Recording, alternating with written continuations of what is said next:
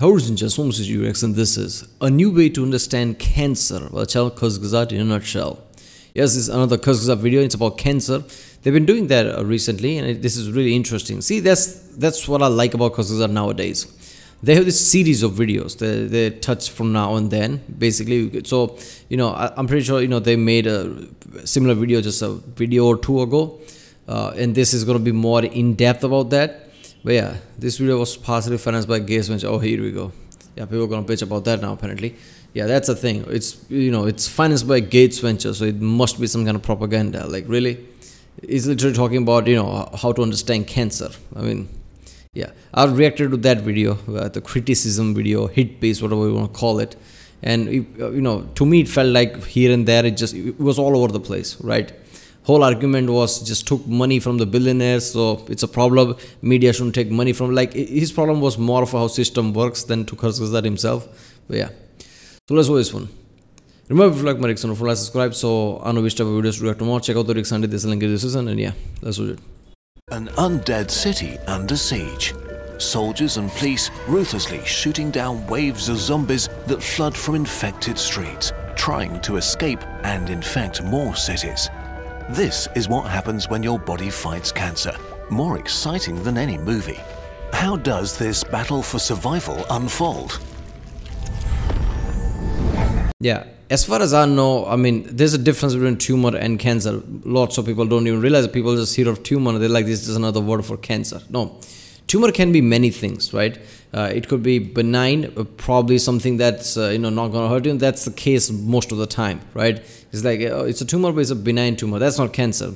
Cancer is when that cells, group of cells, decide that they are not going to go away and they're going to do their own thing and starts to grow. Actually, uh, suck resources around them, which uh, they shouldn't actually hurting tissues around it, and just basically slowly damaging organs, and it just get bigger and bigger, and that's it's a problem.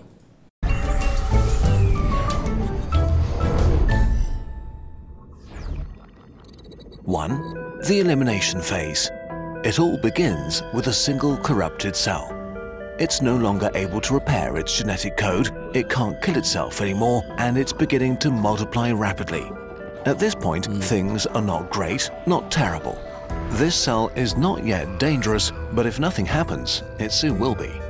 Over a few weeks, the corrupted cell keeps making copies of itself. One cell turns into dozens, hundreds, thousands.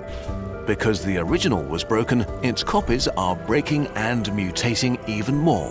Mm. They turn into different genetic lineages, clans that are working together and competing. Some mutate in a way that makes them weaker, others mutations don't change anything, while a few become fitter and better at survival. Basically a virus Together, they now See, you can see the similarity between virus and here because basically both are kind of like cells so there's a similarity. And uh, you know i've heard people say like you know cancer is like you know uh, this kind of basically they add intent to it. Like cancer has its own will deliberately it's like you know prison break or something. You know it didn't want to die and it's just doing its own thing and all that. I see you know i heard lots of people say that and i'm like you, do you really believe that? You're just you know more of flamboyant way of putting it. And i think some people really believe that. Look man cells don't have will like that right? If their functions to kill themselves some they malfunction right? And when they malfunction they, they, they basically do what cells do which multiply right and then try to survive. It's so much of an intent it's what cell do right? It's, it's just malfunction of whole system rather than having some kind of intent. Even when people say cell just want you know uh, cancer cell is just that cell doesn't want to die want to live. You just add this kind of a i don't know how to say like whole personality and you know will to it. That's not the case. That's that's just what cell do. Is like autonomous right? It's just like how it works. Form a tiny tiny tumor. Not cancer yet but getting there. The growing tumour needs a lot of resources. If the cells don't get food and oxygen, they'll die and the problem just solves itself. Unfortunately, a few corrupted cells unlock a new mutation that saves them, the ability to order the growth of new blood vessels. And hmm. so your body provides the supply they need to survive. But as the tumour continues to grow, it starts causing damage neighboring healthy cells begin to starve and die, which attracts attention. In a sense, this tiny tumor. By the way, this blood vessel thing, right? Uh, nobody really, I mean, I don't know if you think about it, but I do think about it a lot. Like, our system is so good every single portion of your body, your blood will reach to it because there will be some blood. If not, there is no blood vessel like damage, it will repair and create a blood vessel there. Like there is a delivery system of blood every single point of your body. Because if any cell doesn't receive blood, it's not going to receive oxygen it's going to die. So every single cell of your body somehow receives blood. Like that whole system is so fucking awesome whenever i think about it and that's why you know whenever you want to want to put anything like if you want to have a like NSAID like non-steroidal uh, you know anti-inflammatory drugs basically something that does you know inflammation removes inflammation. Now you can just take that pill knowing that that pill basically that chemical will mix into the blood and will reach any part of the body that requires basically that because blood will reach any part of the body. The whole system is so good. Is like a rogue town Imagine a group of rebels in Brooklyn decide that they're no longer part of New York and start a new settlement called Tumortown, which happens to occupy the same this space. Is so good, man. I love the new city wants to grow, so it orders tons of steel beams, cement, and drywall. New buildings follow no logic, are badly planned, ugly, and dangerously crooked. They're built right in the middle of streets, on top of playgrounds, and on Their existing infrastructure. Suck. The old neighborhood is torn down or overbuilt to make room for new stuff. Many of the former residents. I love this. I love how he uses analogy and everything, right? This is the same thing, right? The, the criticism video, that guy had a problem because I'm pretty sure he saw that animation of the superhero cape thing and they're like, you know, he's just making them out to be hero. No, that's what he's. Cuz I do this because kids watch this. Like, look at how this he's making all these cells evil and smiling and how analogies he's using about town and everything. I love this town analogy, right? Like, you know, architect they have suck basically, their materials suck cheap steel. Residents are trapped in the middle of it and begin to starve. This goes on for a while until the smell of death finally attracts attention. Building inspectors and police show up. In your body, attracted by the stench of dead cells, your immune system is activated. First responder immune cells invade the tumour. Macrophages and natural killer cells, police forces that go right to work killing and eating tumour cells. They release chemical signals that let the whole immune system know that there is cancer to be eradicated. Dendritic cells, the intelligence officers of your immune system, collect samples of dead tumor cells and begin activating your heavy weapons, helper and killer T cells. Yep. We explained these specialized yeah. super weapons in another video, but all you really need to know is that they have a library listing every bad thing that could come into your body.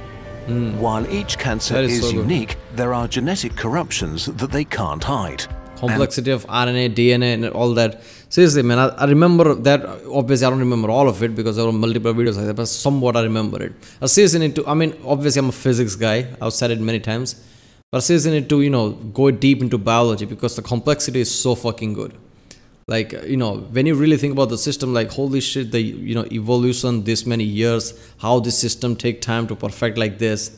And even then like you know our body wither and die by something here and there. Just imagine how much threat are there that even this kind of complex system can take it. And your t cells know what to look for.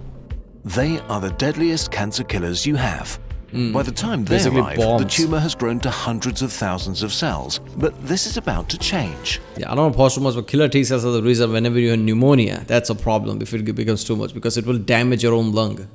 T cells block the growth of new blood vessels, which starves thousands of tumor cells and puts an end to their growth. Imagine the building inspectors switching off electricity and water and putting up roadblocks to Cancer Town so no more food or materials can be delivered. With no way to hide from the carnage unfolding, the tumour collapses as hundreds of thousands of tumour cells are massacred. Their carcasses are cleaned up and consumed by macrophages that then order healthy tissue to regenerate. Your body has crushed the illegal tumour town without mercy. You'll never know about this fight or how many times this has happened inside your body. Except, in this case, something didn't go as planned. 2. The equilibrium phase. Okay. Unfortunately, natural selection spoils your victory. By doing its best to destroy the tumor, your immune system accidentally selects the fittest tumor cells. Remember, survived. the tumor consists of different lineages that keep growing and keep mutating. Most of these are eradicated, but just a few are more resilient. One cell survives, it comes from the fittest tumor lineage and was just a bit better at surviving the massacre than anyone else. It decides to do it all over again but better this time. This tumour cell is much stronger than any of the thousands that were killed. Maybe it's better at hiding or fighting back. Maybe it grows faster or is better at stealing resources. Maybe it can survive with much less oxygen, and so it all begins again. It's like the surviving rebels that started Tumor. See the sturdy one, I mean, uh, you can really pinpoint it and take it out. There is a possibility. But something that grows faster, that's that becomes really fast issue. Like, yeah, even if you take something like chemotherapy or something, right? Uh, you you you know it generates more than you can kill, and by that point it just becomes that like you know now we can't do nothing because doesn't matter what we do. It's it's at a stage where we'll just multiply more and more. That's the more dangerous thing. Town have learned their lessons. Now they know the law better and how to break it, what permits help them, and how to avoid the police. And so the surviving tumour cell makes thousands of copies that mutate and form new lineages until once again a tumour has grown, made up of more resilient cells. The immune system doesn't care though, and this time it even has experience. Instead of starting with police, SWAT teams go right in to tear Tumour Town down, mm. killing its inhabitants without mercy. But once again, They're they like don't get everyone. Once. One of them survives, a fitter tumour cell from an already fitter lineage. This time, it gets a cheap suit and studies the building code, pretending to be a lawyer to start Tumour Town all over again. I don't know why this is funny to me. Like, it's like one of those cartoons, right? Like, I survived, but look at the face when they beat the shit out of it. Like, barely just, you know, twitching and everything. I was still alive. this struggle now repeats a few times. Each time, the rebels learn a bit more about how to avoid the law. If at any point the immune system gets all of the tumour cells, the story ends. But in this case, it doesn't.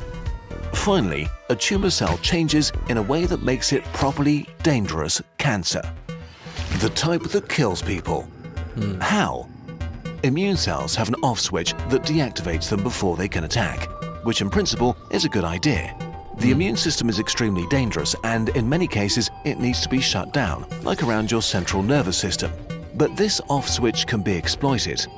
The mutated tumour cell finds a way to switch the immune system off by targeting inhibitor receptors on anti-cancer cells. Inhibitor receptors stop immune cells from, well, killing. This cell is now the powerful founder of a new lineage of cancer cells and mass produces thousands of new copies that once again change and mutate further, building yet another tumour town.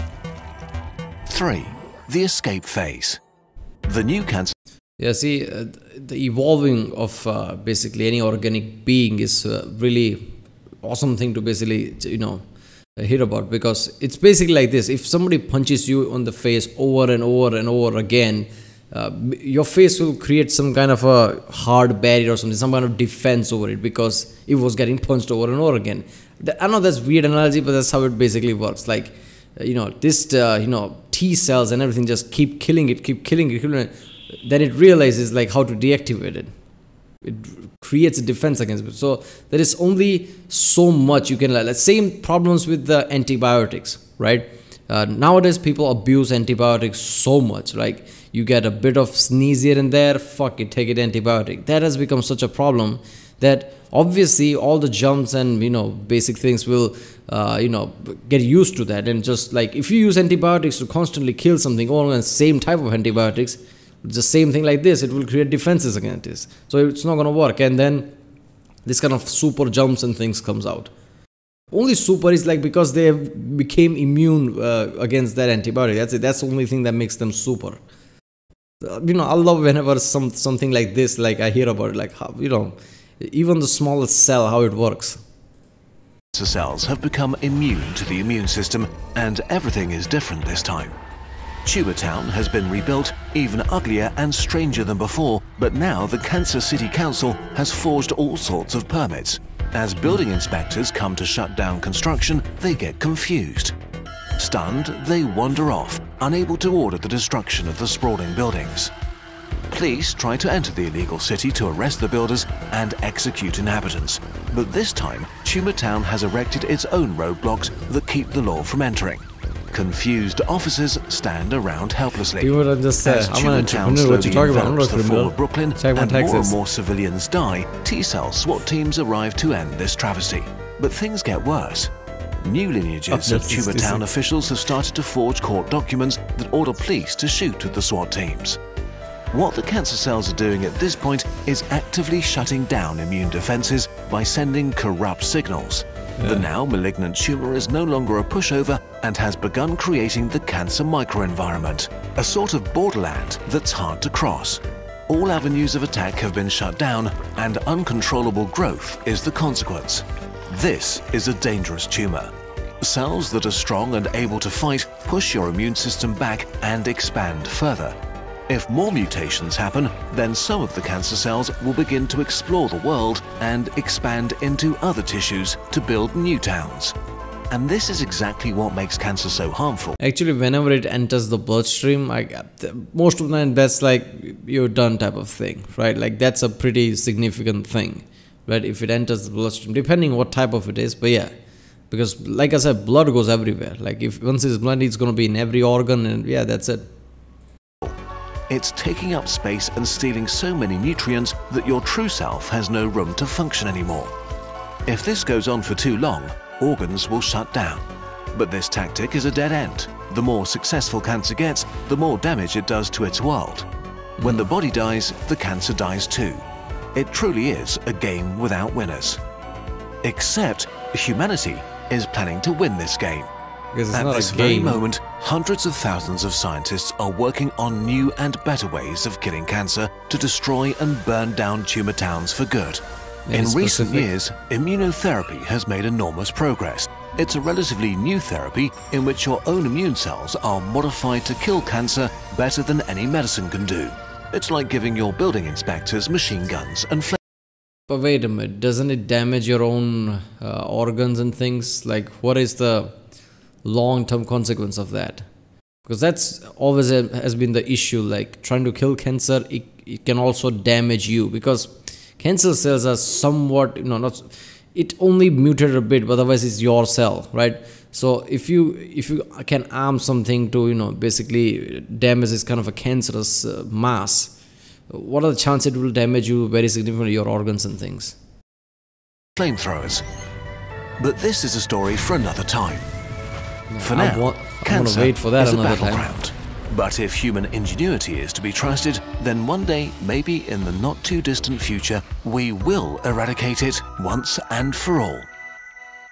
This video was made possible in part by direct viewer support and in part through a grant by Gates Ventures. Thanks a lot for their support. Please check out our source document Yeah, see that that, that thing that he said about uh, one day we might eradicate it. It feels nice to hear that. But one thing I love about any life is that just like we adapt to the damages, they adapt to us. So there's always going to be new issues that we will have to tackle. But yeah, once we uh, dominate a sector, like just say you know we know how to basically target cancer, it will be a big relief. But I'm sure you know they will mutate to certain specific thing that we can fight again. There always going to be something like that. But right now, just like any you know critical cancerous mass, and we are done. Right, so we are at that point. So it will be much better if we can damage you know specifically damage those cancerous masses. Even if it adapts, I, I guess we'll be you know killing a lot of it. Right, it would be rare if something we can't if if we get that right basically. So yeah, that that is so good. But you know, I, I'm waiting for. I'm gonna wait for that fucking video he's talking about because I really want to know about like what is he talking about there? Like a new like is is it damage is it damaging to our lungs? Like what is the risk ratio and everything? But yeah, this was a good video. Uh, this was a new way to understand cancer Kurzgesagt in a nutshell. If you like my reaction, don't forget to subscribe, and I'll see you next time.